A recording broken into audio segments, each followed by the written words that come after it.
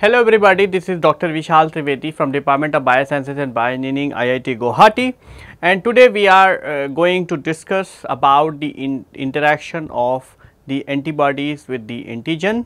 In the previous uh, lectures we have discussed how to generate the antibodies, we have discussed about the generation of the polyclonal antibodies and as well as the monoclonal antibody. So, once you have generated the antibody, you have generated the first immunological tool to use it for various purposes.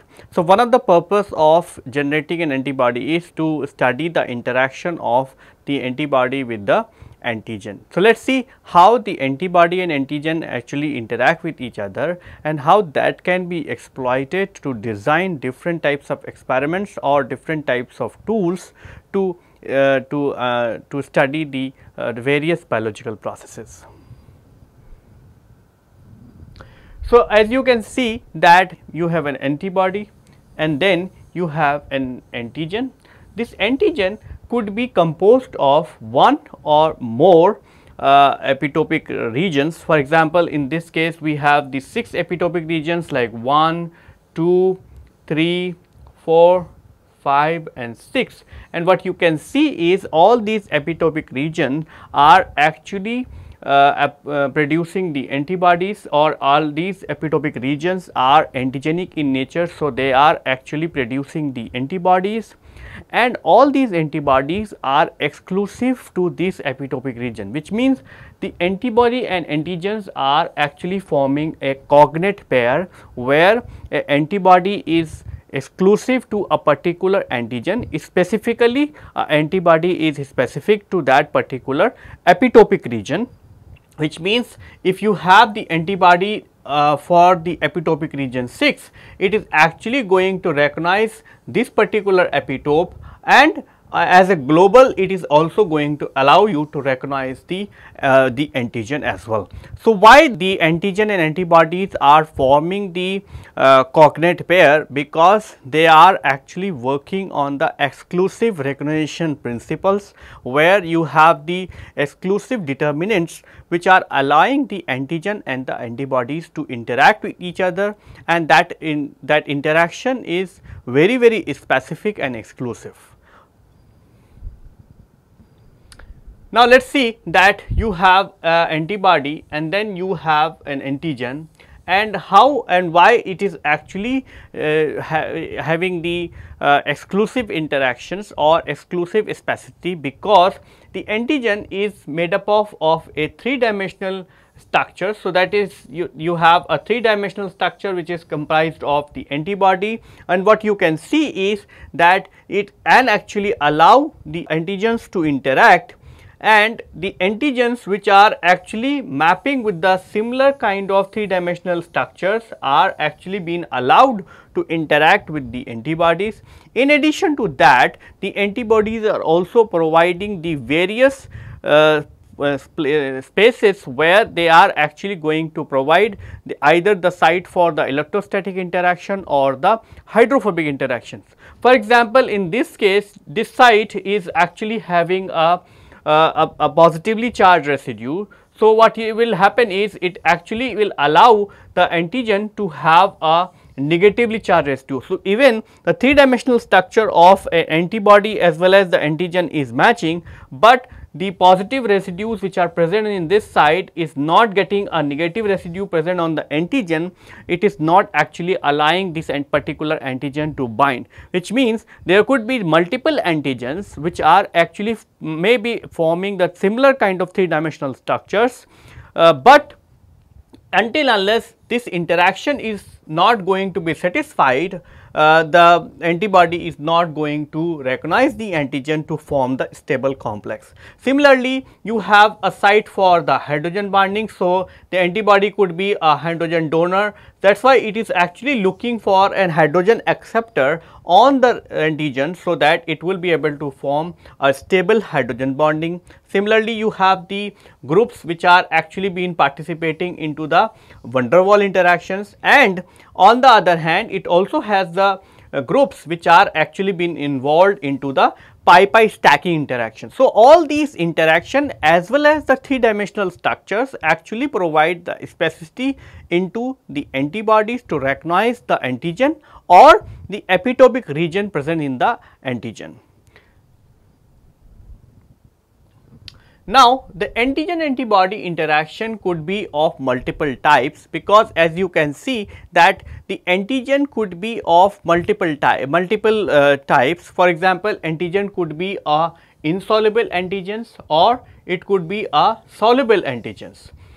So, what is mean by the insoluble antigen is that for example the cells like for example you have the RBC. So, RBC is a antigen which actually is not soluble in the solution which is actually going to form a particulate matter. For example, if you keep the RBC into the any buffer it is actually going to settle down. So, that is that is why it is falling under the category of the insoluble antigens. The other molecules which are also insoluble are like virus or some of the bacteria also are falling under the insoluble antigens. Soluble antigens are mostly the proteinaceous uh, substances like proteins or the uh, DNA or the RNA and, and, and sometimes also the lipids. So, the molecules which are soluble in aqueous media are falling under the soluble antigens. So, if the antigen is insoluble, it is actually going to interact with antibodies and will participate into the agglutination reactions. Agglutination reactions are the reactions where the antibody is going to interact with the uh, antigen and it is actually going to form a, a network or the mesh because of that it is actually going to clump it is going to clump all the uh, anti, uh, antigen containing uh, particulate antigens. Whereas, if the antigen is soluble in nature, it is going to interact with the antibodies and in a process it antibodies are going to precipitate the antigen from the vicinity. The classical example in the precipitation reactions are the radial immunodiffusion assay as well as the immunoprecipitations.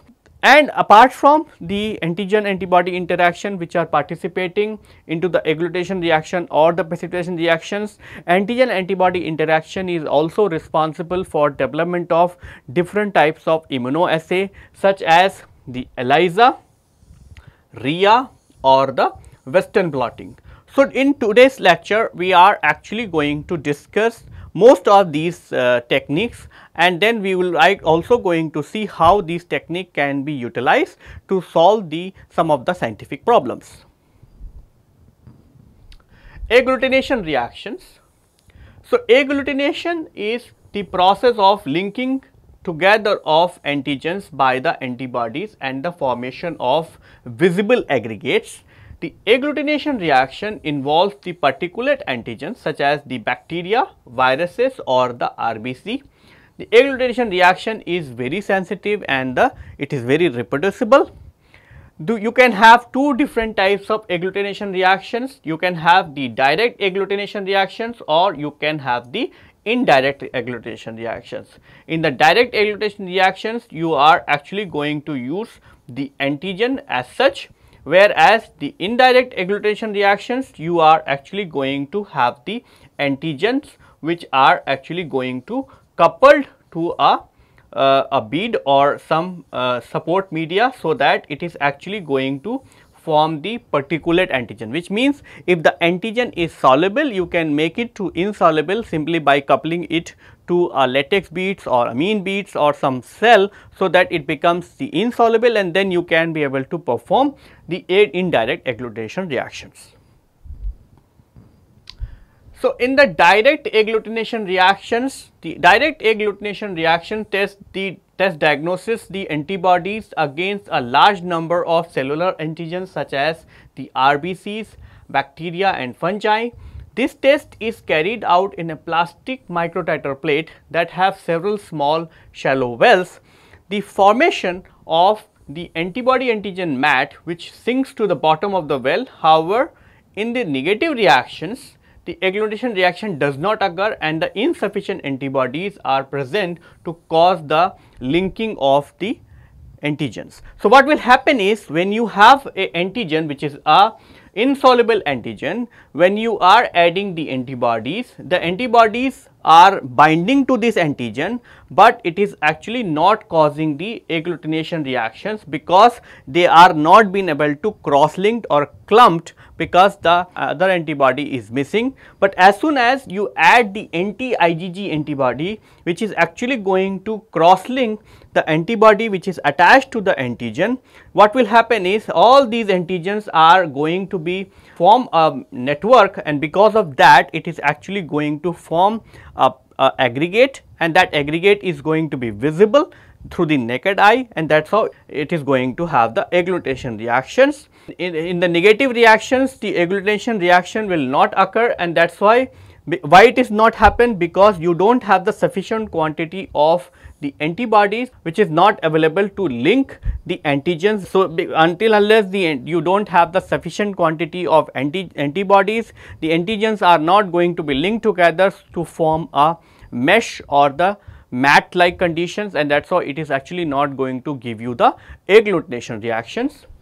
What you can see is if you take the uh, for example, if you take the RBCs and if you add the antibodies. So, what will happen is all these RBCs are actually going to be connected by a small uh, antibodies through, through a network of antibodies and because of that all these antibodies are going to clump and they will going to show you a aggregate. Whereas, in the in the negative control where you are not going to add the antibodies there will be no sufficient clumping. So, that is why what you see is actually a RBC pellet. So, this is not actually agglutination reactions uh, whereas in this case or in this case you have the larger pellet and it is actually uh, going to show you a mesh kind of network because of that it is actually different from this and uh, so, this is this is a very very uh, sensitive re uh, reactions or sensitive uh, uh, reactions where you can be visually visually can be able to check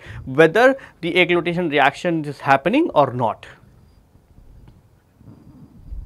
Uh, one of the classical example where you are actually using the agglutination reaction is the blood group typing. So, blood group you know that the human has the 4 blood group A, B, AB and O and all these blood groups are being classified by the reaction of the RBCs with the antibodies. So, what you can do is that the blood group typing is accomplished by mixing a drop of blood with a serum containing antibodies against the uh, ABO and the RH system. So, what you what you, in the experiment what you are going to do is you take a drop of blood and then you mix it with the anti-A or with anti-B antibody. So, anti-A is a antibody which is for the antigen A whereas the anti-B is the antibody which is against the antigen B. So, what will happen is you have taken a RBC now you have added the those two sera and then you mix them into a slide and then you look for the agglutination reactions. So, what will happen is if you have the anti-A antibody and anti-B antibody, what will happen is if there will be a positive agglutination reaction with a anti-A antibody, but there is a negative agglutination reaction with anti-B antibodies, then the blood group is going to be A. Similarly, if the agglutination reaction is negative for anti-A, but it is positive for anti-B, then you are going to have the uh, B blood group. Now, if you have the blood group anti-A and anti-B, if the both antibodies are giving you the agglutination reaction, then the blood group is going to be AB.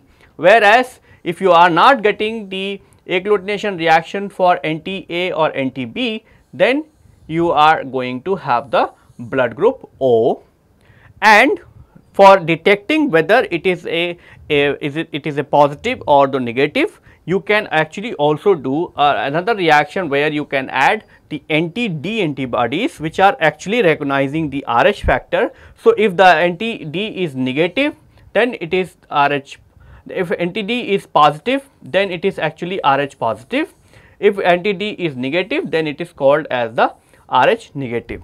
So, by doing this kind of analysis and by just by simply doing the three reactions where you are going to add the blood drop with anti-A, anti-B and anti-D antibodies, you will be able to identify and you will be able to classify a person with its blood group either it will be A positive, B positive or AB or O positive.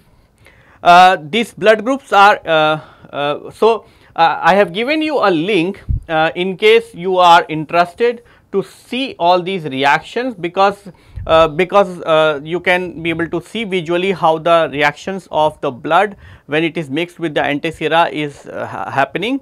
So, you can just follow this link and it will actually going to give you the real experience of how this agglutination reaction actually look like.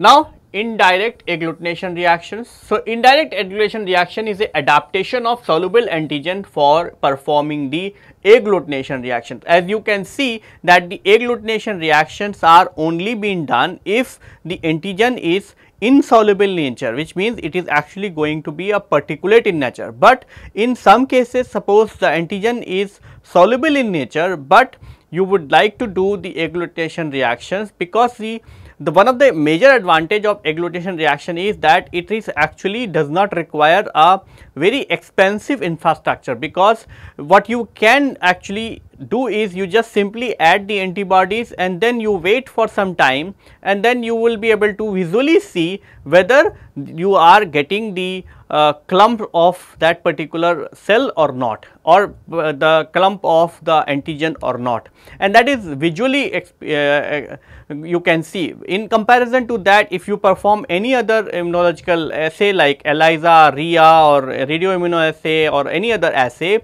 it sometimes it uh, it is actually requires more infrastructure number 1. Number 2 it requires the specific spectrophotometers so that you will be able to see the readouts from the ELISA or RIA or uh, or the uh, or the uh, immunodiffusion assays and in some time if you want to do uh, immunoelectrophoresis then it is also require the infrastructure whereas the agglutination reaction does not require the extensive or expensive infrastructures number 1. Number 2 it is easy to perform you just add the antibodies and it's work. So, that is why people are trying to develop the agglutination reactions even for all those antigens which are not insoluble, but which are soluble in nature which means you can actually have the proteins which is soluble in nature and you can be able to perform the agglutination reaction simply by performing the indirect agglutination reactions. So, this is the adaptation of soluble antigen for the agglutination reactions.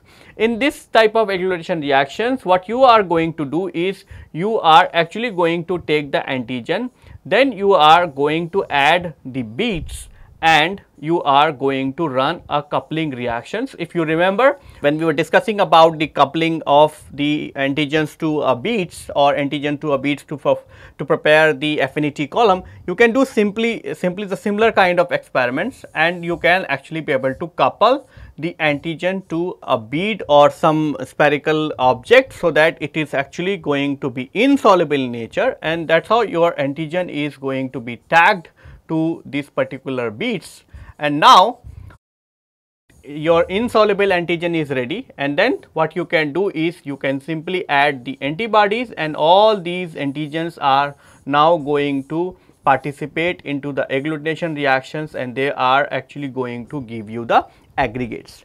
And this type of this is actually a diagnostic text and it is actually allowing the rapid detection of the soluble antigens such as the streptococci which is actually a bacteria. Uh, if the antigens are absor absorbed onto the particles like RBCs or latex beads, the soluble antigens can respond to the agglutination test. See antibody reacts with the soluble antigens adhering to the particles. Therefore, the particles agglutinate with each other as these do not have a direct agglutination test. So, the indirect agglutination test is only for those antigens which are soluble in nature, but you can actually evolve or develop the agglutination reactions for them for easy diagnosis purpose. Now, apart from the e-agglutination test, you can also do the hem hemagglutination uh, assays or hemagglutination reactions. So, hemagglutination reaction is the phenomena of clumping of RBCs when the RBCs are agglutinated by the certain viruses uh, such as the NDV virus, those causing the mumps, measles or influenza it these viruses can be detected simply by the uh, doing performing the hemagglutination reactions. So, in a, in a typical hemagglutination reaction what you are going to do is you are going to take the RBCs then you add the viruses and these viruses are actually going to attach to some of the proteins which are present onto the RBC and that is how they are actually going to couple them. So, hemagglutination is the linking of red blood cells by the virus particle in an isotonic solution that results in the clumping. The clumped RBCs settle down much slowly as compared to the virus free RBCs. Thus, the untreated RBCs settle down to the bottom of a well and forms a defined red button while in the virus cross linked RBCs no red button is observed. So, what will happen is what you do is you take the RBCs suspended in PBS and then you are actually going to uh, wash it and then you prepare the RBCs and then once your RBCs are ready then you can just add the virus particles. And what will happen is the virus is going to uh, cross linked these RBCs and that is how they are actually going to form the, uh, the, uh, the aggregates. And these aggregates are actually going to show you the uh, uh, particulate uh, pattern compared to that you are actually going to get the settling or down of the RBC which is actually going to give you a smooth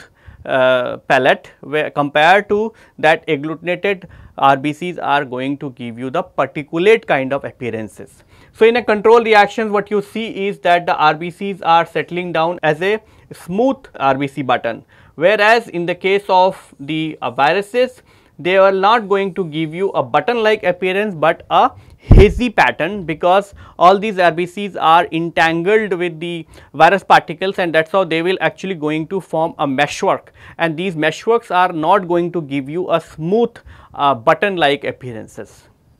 How to perform the hemagglutination assays? Uh, the material what you required for doing the hemagglutination assay is the you require the RBCs, you require the microtiter plate readers or microtiter plate, uh, you require the PBS, then you require the micropipette and tips, you require the conical tubes, then you require the centrifuge with a swinging bucket rotor and you require a bleach solution so that you will be able to disinfect the virus containing articles so that there will be no cross contamination of the viruses to the other objects. In the step 1 you have to prepare the RBCs. So, what you do is you collect 1 to 2 ml of the blood with EDTA so that it uh, which contains the anticoagulant then the fresh RBCs should be prepared for this assay because the fresh RBCs are going to have the very high quantity of antigen as well as the fresh RBCs are not going to show any degradation of the antigen which is being expressed on their cell surface. Then you spin the uh, this for 1500 rpm for 10 minutes. Carefully remove the white buffy layer which means that you remove the WBCs on the top of the RBC pellet and then remove the serum part then you dilute the uh, resulting pellet uh, into PBS and mix it with the inverting.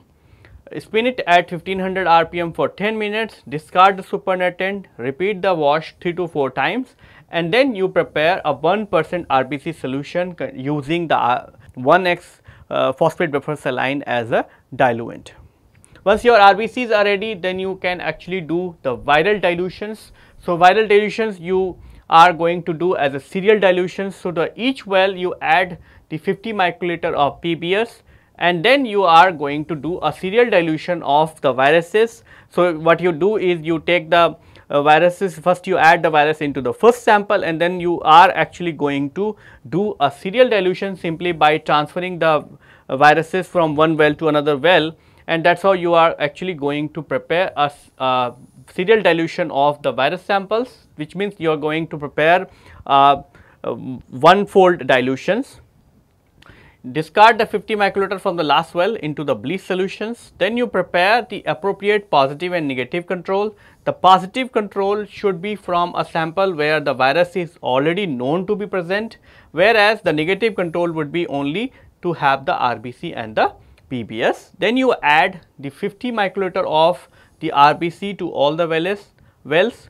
The working concentration would be the 0.5 percent RBCs then you mix them gently and close the lid and then keep or incubate them for room temperature for 15 to 30 minutes to develop or to perform the reactions so that if it is going to show you the hemagglutination assay.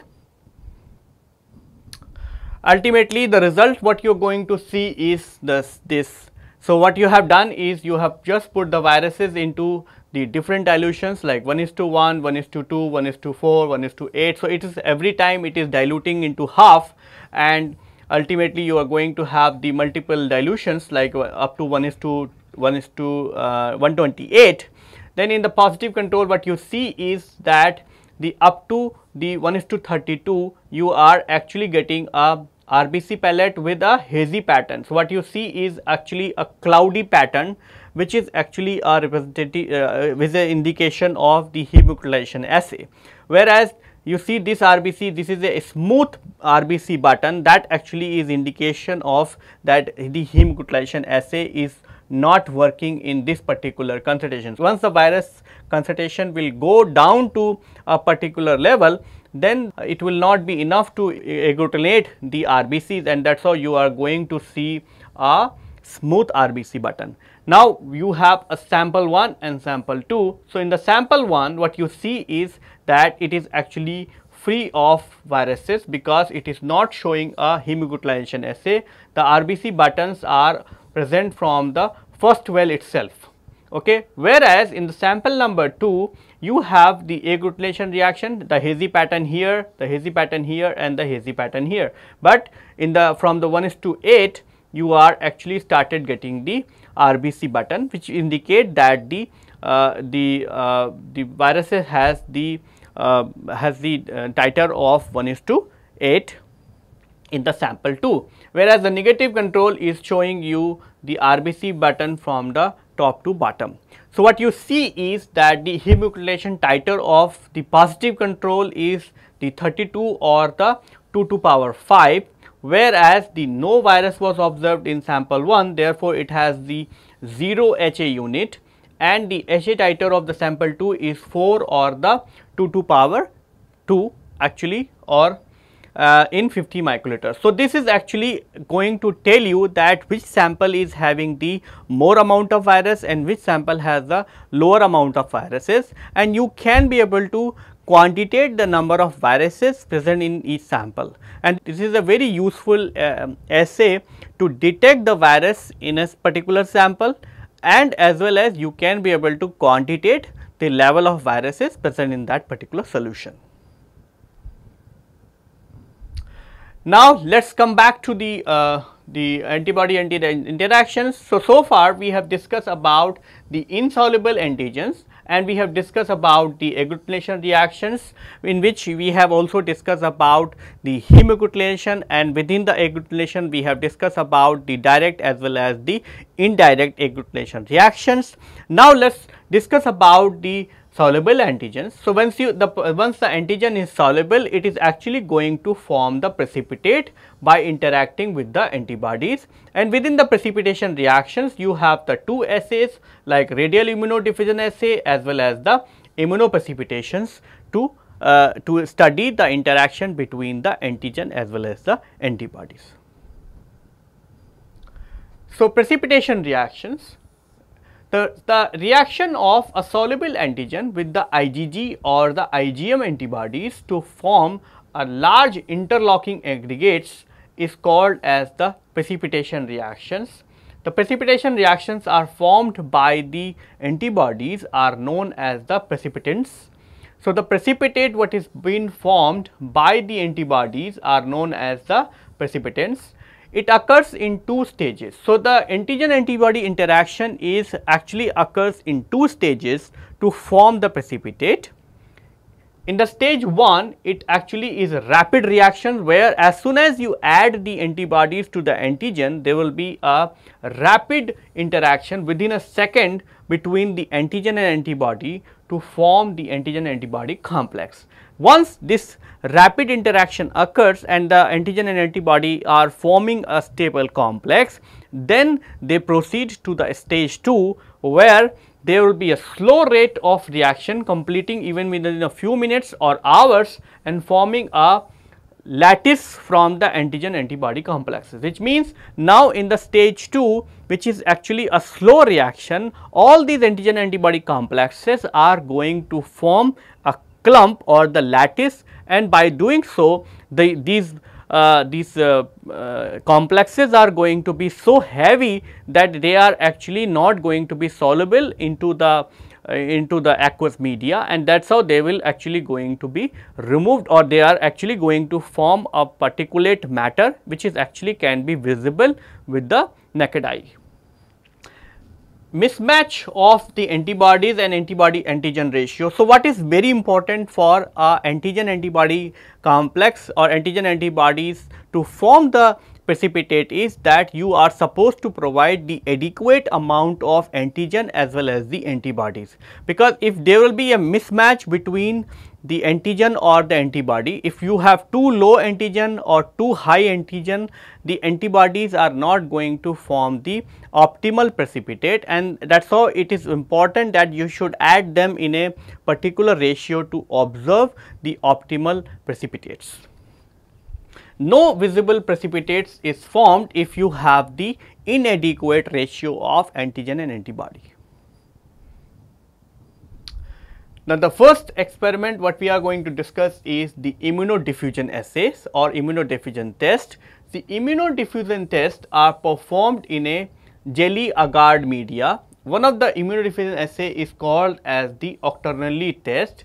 In the Ouchterlony test, wells are cut.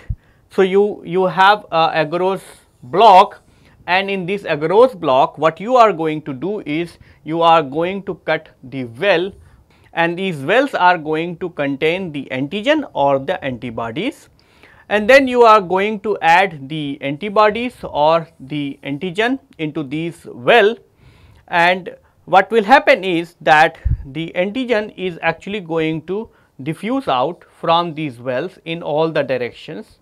Okay. Similarly, you can imagine that antigen 2 is also is diffusing into this and the antibody is also diffusing into the agar and what will happen is well when they are diffusing they actually are going to meet with each other and that is how they at their meeting point these two are actually going to form the precipitate. So, what you see is that in this particular case the antigen 1 and as well as the antigen 2 are actually forming a continuous precipitate which means the antigen 1 and as well as the antigen 2 are actually are identical to each other and they are similar to each other that is why they are actually showing the uh, the visible precipitate and they are actually forming a continuous precipitate when next to the antibodies. So, thereafter a line of visible precipitate is formed between the well where after diffusion optimal ratio of antigen and antibody is formed. So, antigen and antibody is going to have a very high concentration here, but when it diffusing its concentration is diluting. Similarly, when the antigen is diffusing it also uh, concentration is very high next to the well, but when it is diffusing that is how you are actually going to achieve a optimal antigen antibody concentrations to see the visible precipitate. Now, the next is radial immunodiffusion assay.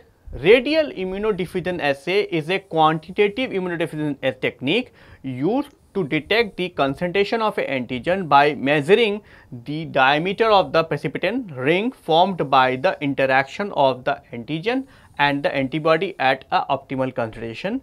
In this method, the antibody is incorporated into agarose gel whereas the antigen diffuses into it in a radial pattern. Thus, the antibody is uniformly distributed throughout the gel. So, compared to the uh, immunodiffusion assays, In this one what you are doing is you are simply taking a agarose block and you are actually adding the antibodies into that. This means the agarose block is going to have the homogeneous concentration of the antibodies. So, you have an agarose block which actually contains the antibodies in a homogeneous concentration. So, compared to the radial immunoassays in this one you are actually having in, in uh, compared to the immunodiffusion assays in this one you are actually having the constant concentration of the antibodies throughout the agarose block and then what you do is you are actually going to cut a well and then you are actually going to add the antigen into that.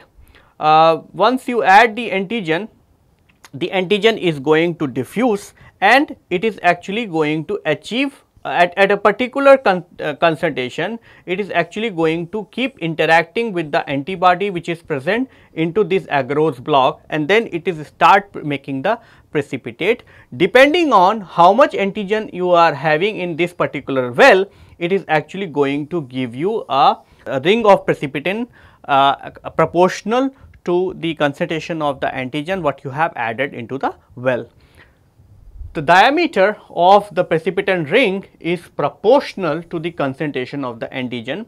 With increasing concentration of the antigen, the precipitin ring with the with will be a larger diameter are formed. The size of the precipitin ring will depend on the following four factors. Number one, it is actually going to be present on to the antigen concentration what you are taking into the sample well. Number 2 it also depends on to the agarose uh, antibody concentration what you are taking into this particular uh, agarose block because if the antibody is going to be the limiting factor then the antigen is not going to be sufficient enough. If the antibody is limiting then the antigen even if the antigen is more the precipitant ring will be proportional to the, the concentration of the antibody. Then you it will also depend on the size of the sample well. So, because uh, the amount of the well what you are going to take the diffusion will start from there. So, the, the size of the precipitant ring also will be in proportion to that and then the volume of the sample is also very important to see the, uh, the diameter of the precipitant ring. How to perform this assay? Uh, the so thus the standard curve can be obtained from which one can determine the amount of antigen in a unknown concentrations. For example, you can actually do the uh, the unknown sample of different concentrations. So, you can do a antigen of different amount and that actually is going to give you the precipitin ring of different diameter. So, what you can do is you can simply plot the diameters of these uh, these rings on the y axis and you can actually plot the concentration of the antigen onto the x axis and then what you can do is you can just simply use the unknown concentration and you can be able to determine the concentration of that particular antigen. If the more than one ring appear in the test, for example, if you have the two rings like this, then that actually implies that you have more than one antigen present into your reaction mixture which means these antigen are actually having the differential reactions with the antibodies.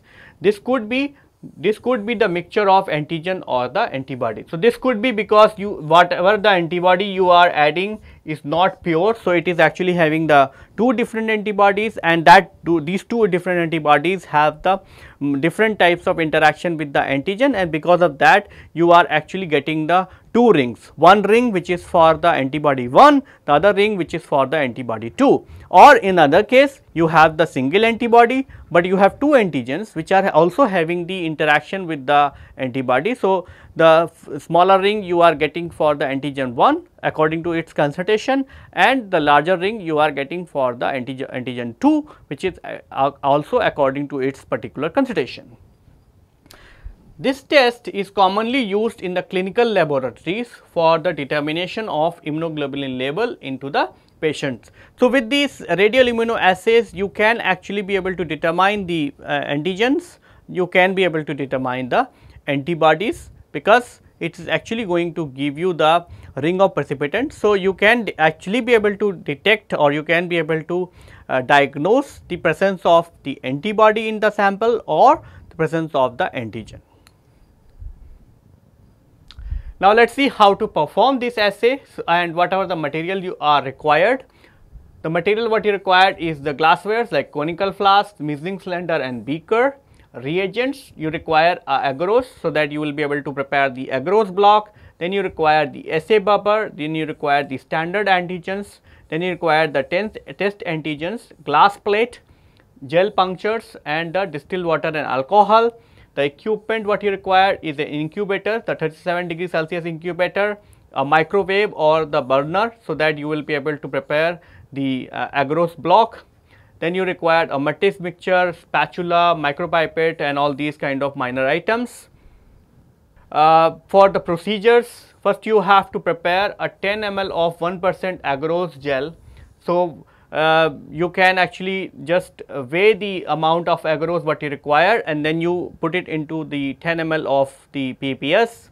Then you take out the 6 ml of this gel solution is a in a test tube allow the solution to cool down to 55 to 60 degrees Celsius. This, this is a very important step that you should allow this solution to cool down so that when you add the antibodies to this solution, antibodies should not get denatured and add the 80 microliter of anti-serum to 6 ml of agarose solutions, mix well for uniform distribution of the antibodies, then you pour the agarose solutions containing the Antisera on a non-greasy grease free glass plate placed on the horizontal surface. Allow the gel to settle for 30 minutes which means you are going to take a glass block and this glass block should not have the grease because the glass are coming where you have a shiny coating. So, if you have a shiny coating this agarose block will not going to stick to that. So, what you need is a glass which does not have the shiny coating and it should be rough actually.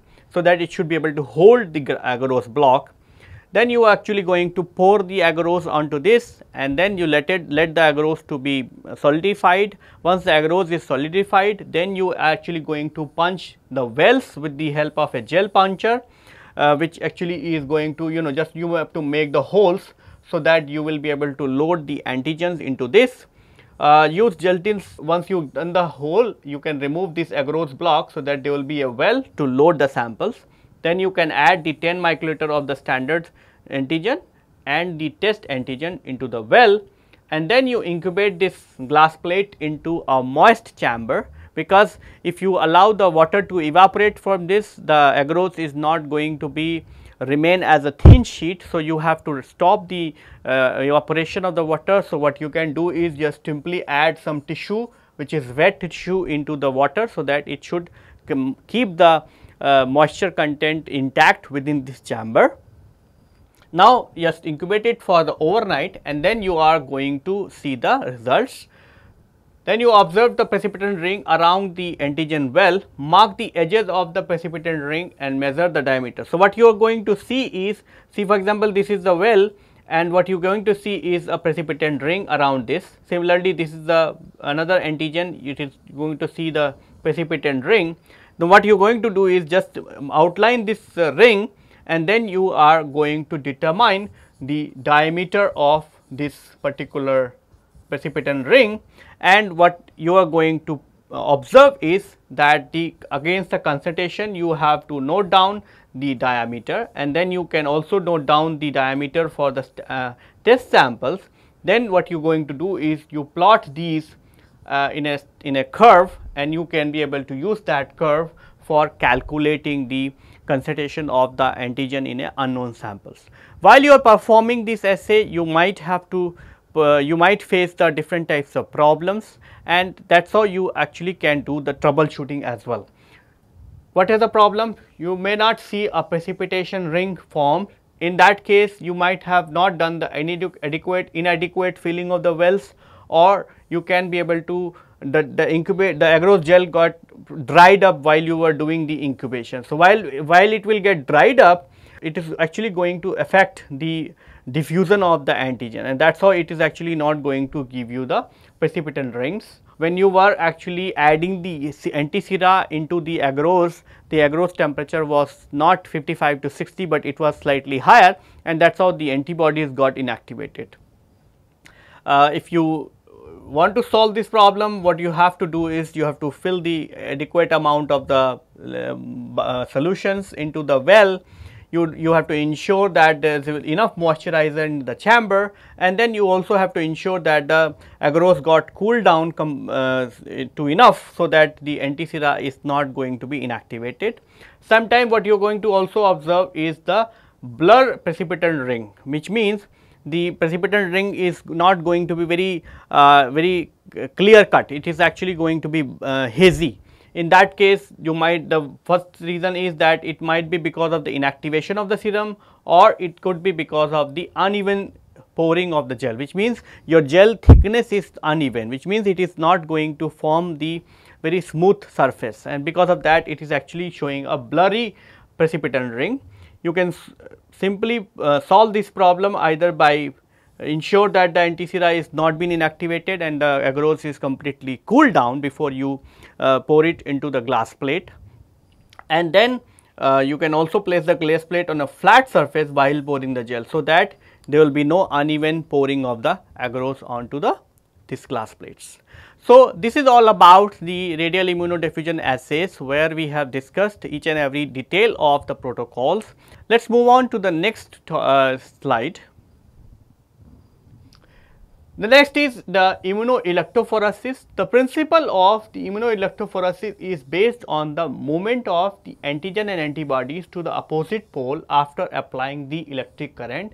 If the reaction occurs, you will see a precipitation line so, so far what we were doing is we were simply relying on to the diffusion of the antigen or the antibodies and in that case you are going to observe a precipitation ring or precipitation line. But sometime the antigen or the antibody what you are handling are very big and they are their, their diffusion rate is very slow because of that, it is not possible for these antigens to be tested in a radial immunoassay or the immuno, uh, immunodiffusion assays. So, in that cases what you do is you simply uh, make a, a agarose gel and in that case you just uh, you know uh, pour the agarose uh, pours the antigen into one well and the antibodies into another well and then you apply the electric current across them. So, what will happen is the antigen and antibodies are going to run in uh, opposite direction and then while they are running they will interact with each other and that is how they will actually going to form the precipitate. So, what you are going to do is you are just simply going to add the antigen into one of the well, antibodies into another well and then you are going to apply the electric field. So, once you apply the electric fields the antigen will run into this direction, the antibody will run into this direction and when they will meet at the, the center point you are going to see a precipitation line. So, that precipitation line is going to be uh, tell you that this antigen and this antibody are interacting with each other. And this is this kind of assay is useful for the diagnosis of the bacterial meningitis and the other diseases. So, this is all about the studying the interaction of the antigen and antibody. So far we discussed about the agglutination reactions, we discussed about the precipitation reactions and in the precipitation reactions just we have discussed about the radial immunoassays. So with this I would like to conclude my lecture here. In the subsequent lectures we are actually going to discuss about the uh, immunoprecipitation reactions and then we are going to take up the immunoassays to discuss how to perform the immunoassays and how you can be able to use them for uh, answering the some of the biological questions. So, with this I would like to conclude my lecture here. Thank you.